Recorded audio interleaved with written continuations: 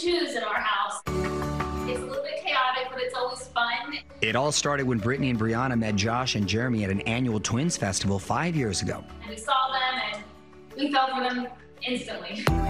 The two pairs immediately started dating. By the following year, they got married. It was a double date from the first date, and we continued to go on double dates. And so our relationships progressed at the same pace. Then a double proposal, and then a double wedding. And when the four decided to start their own families, they wanted to plan it together. We very, very much wanted to have overlapping pregnancies. So there was a point where we all four sat down and decided that, you know, we talked about it, we're ready to, to expand our family. Both couples welcomed baby boys last year, Jax and Jett, who are just three months apart. And when it comes to childcare, they, of course, had each other covered. We have uh, a team of help, right? Yeah. So to have to call in a, a babysitter Yeah. because we can all pitch in and help each other.